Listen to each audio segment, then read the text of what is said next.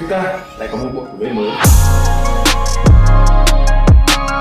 Đấy là cái quá trình các bạn làm ở đây thì nói chung là cũng rất nhiệt tình cẩn thận chú đáo. À, anh có sẽ giới thiệu bên em cho mọi người không Xin chào quý vị và các bạn đã quay trở lại với kênh youtube của LTH Pro. Chúng ta lại có một bộ tủ bếp mới. Vâng, khác với những bộ tủ bếp à, gần đây của LTH Pro Thì bộ tủ bếp này lại là một bộ tủ bếp à, nhỏ gọn hơn. Nhưng mà không vì nhỏ gọn hơn, không vì kích thước của nó mà đây là một tủ bếp đáng bỏ qua đâu. Mà ngược lại, đây là một bộ tủ bếp mà quý vị sẽ muốn tham khảo cho không gian bếp của nhà mình. Bởi vì nhìn xem đây là một mẫu tủ bếp mà chúng tôi đã áp dụng những uh, xu hướng thiết kế mới nhất. Vậy thì chiếc tủ bếp này có gì đặc biệt?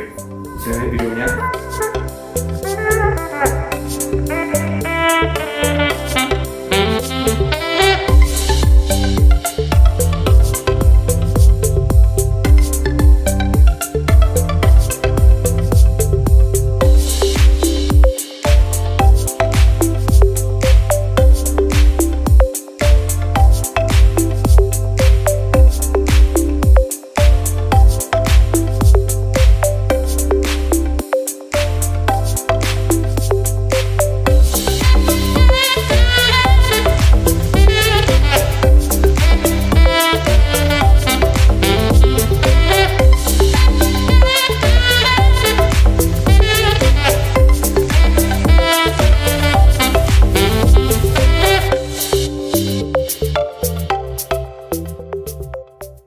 Thưa quý vị, đây là anh chính chủ nhân của căn bếp này và anh này với ờ, một căn bếp mà LTH Pro ờ, đã hoàn thiện cho anh thì anh có thể chia sẻ về quá trình mà anh đã à, lên ý tưởng cho căn bếp này không?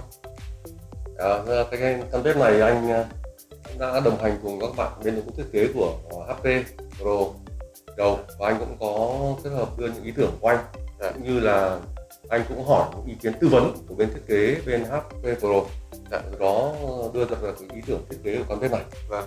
thế là trong quá trình thi công ấy thì về cơ bản anh cũng rất hài lòng Dạ. vì các bạn cũng ờ, sản xuất lúc sản xuất cũng được đến xưởng để tham quan kiểm tra những hạng mục trước khi đưa vào lắp đặt Dạ. anh cũng tương đối hài lòng Dạ vâng. đấy là À. cái quá trình các bạn làm ở đây thì nói chung là cũng rất nhiệt tình cẩn thận chú đáo Dạ vâng. không ý kiến gì Dạ vâng.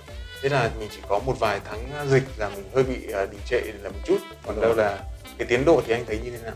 Tiến độ thì là hợp lý các bạn à, đáp ứng được đúng tiến độ mà anh chỉ ra Dạ vâng. Ờ, nếu mà có à, anh thấy là những với những ờ, chất lượng hoàn thiện như này và chất lượng ờ, nhân sự các anh thi ngũ thiết kế thi công của bên thì à, anh có sẽ giới thiệu bên em cho mọi người không? đã có chắc chắn rồi sau lần này khi mà hợp tác cả HP Pro xong thì anh cũng tin rằng là những lần sau mà khi mà làm công trình nội thất cũng như là bạn bè hay là những người quen nhu cầu làm nội thất anh cũng sẽ tư vấn và giới thiệu cho đội ngũ HP Pro vào làm Dạ vâng, em rất cảm ơn anh. Và với một căn bếp và tuy là nhỏ thôi nhưng mà rất là ấm cúng như thế này thì em chúc cho gia đình mình sẽ có những khoảng thời gian thật là tuyệt vời trong căn bếp. rồi anh cảm ơn em Dạ vâng ạ. Rất tiếc là em ờ, không thể bắt tay anh được bởi vì Ờ, dịch bệnh anh- mà. Dạ. Cảm ơn anh. rồi cảm ơn HP Pro nhé Dạ vâng.